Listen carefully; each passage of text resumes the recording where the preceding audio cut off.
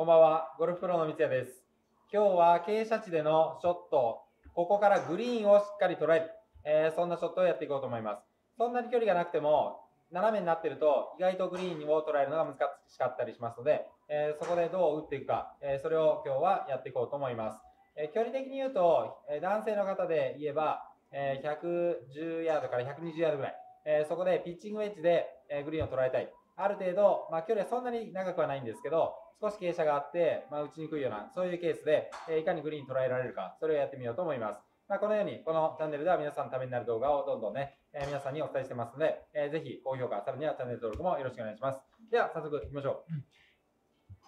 えーグリーンを捉えるとなると、えー基本的にはボールが止まるショットでなければいけません。で、えーこの傾斜はですね、下り傾斜です。左足の方が低い。そして、つま先が上がってる。えーつま先上がり。えーそういう傾斜では、ボールが非常に低くて、左に曲がります。ですから、えーある程度、おボールを止めようと思ったら、フルスイング、しっかり振り抜かないといけません。で、えー斜めになってるところは、結構コントロールして、えー振りの幅をちょっと抑えましょうみたいなことがセオリーではあるんですが、まあ、この場合はあボールを止めなければいけないので、えーしっかり最後まで振り抜いていくような、そういうショットが必要となります。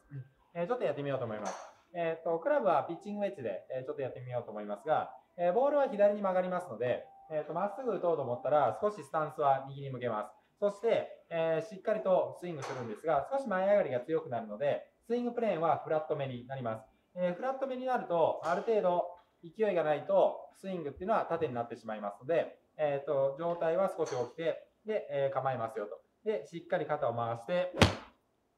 振り抜いてあげると、ボールは左にぐーっと曲がっていくようなボールになり、さらにある程度ボールが上がって止まるような感じになります。えー振り抜けば距離もしっかり出,、ま、出せますので、えーそれで、えー例えば、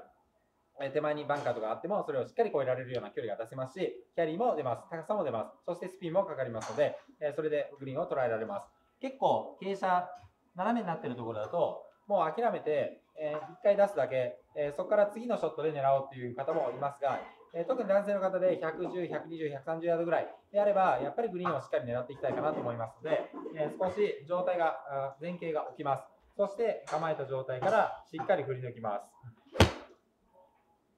そうすれば、ピッチングウェッジですから、上がりにくい傾斜とはいえ、えある程度上がるようなショットになって、まあ、ボールは確実に左に曲がりますから、それをしっかり計算に入れて打っていくのが非常に大事になりますから、まあ、そういうところの計算を少しね、微調整してやれるかどうかっていうのが大事になってくるかなと思います。えーコントロールをするんじゃなくて、しっかり振り抜くと、一見セオリーとは反しているように思えるかもしれませんが、どうしてもそれが必要な場合っていうのはありますので、えーしっかりとその知識もつけて、えー正しいスイングをして、で、えグリーンを乗せていってほしいかなと思います。えー皆さんがナイスね、えープレーできるように頑張ってね、えー期待して、え見てますので、えーぜひね、あのまあ、そういういい結果はぜひ教えてほしいですね。コメントとか、え直接言っていただける方もいると思いますけど、え楽しくね、えやれたいよ、うまくいったよ、まあ、そんな結果もおぜひね、教えていただきたいと思います。では、皆さんのおナイスラウンドを期待して頑張ってください。えそれでは、皆さんね、頑張りましょう。さよなら。